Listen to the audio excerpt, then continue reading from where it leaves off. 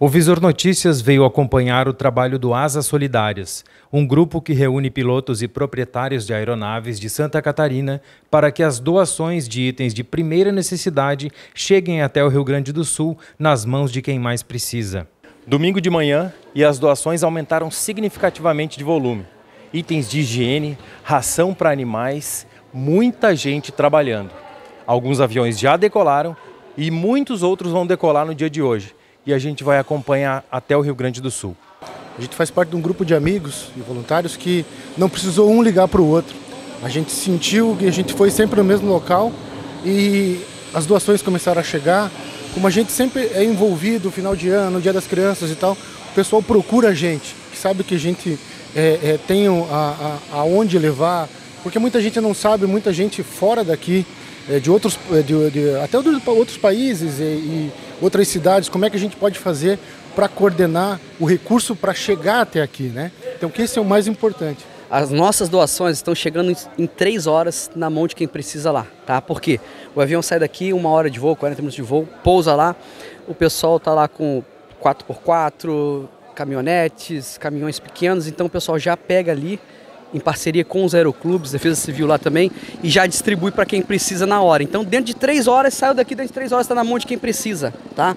Então, já saiu um avião aqui ah, hoje para é, um para um Garibaldi, um para Canela, dois para Garibaldi. Esse aqui está carregando agora, está saindo para Santa para Santa Maria, tá? Então é muito importante as doações. O Pix, quem puder colaborar com o Pix também para o combustível das aeronaves, tá?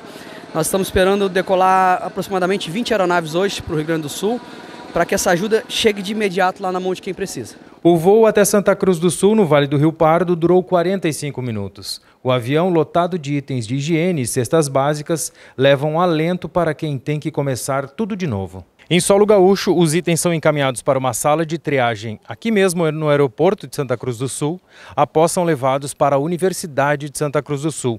E de lá são encaminhados de carro, onde o acesso é possível por meio terrestre, ou de helicóptero, onde não há estradas disponíveis. Bom, as áreas prioritárias são as áreas mais atingidas aqui na região de Santa Cruz do Sul, como Sinimbu, uh, Venâncio Aires, Rio Pardo, Candelária.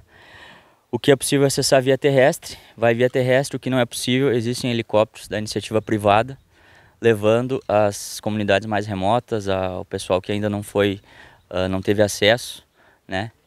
E está chegando muita, muita colaboração da iniciativa privada, inclusive esses aviões vieram de Santa Catarina. Chegou três jatos agora aqui, um de Passo Fundo, dois do Costa Esmeralda, em Santa Catarina.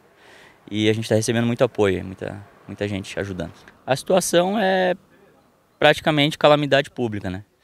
Uh, e um dos grandes proble problemas é não ter uh, estrada, tipo assim, coisas, uh, combustível, posto de gasolina, vai começar a faltar alguma coisa de mercadoria né, nos mercados, abastecimento. Mas está vindo muita coisa, o que é possível vir aéreo está chegando aéreo. Voltamos de Santa Cruz agora. Duas horas entre ida, descarregar o avião e volta. Mais gente ajudando, mais itens chegando. Os aviões vão continuar decolando. O trabalho aqui vai continuar, porque o trabalho lá no Rio Grande do Sul está só começando.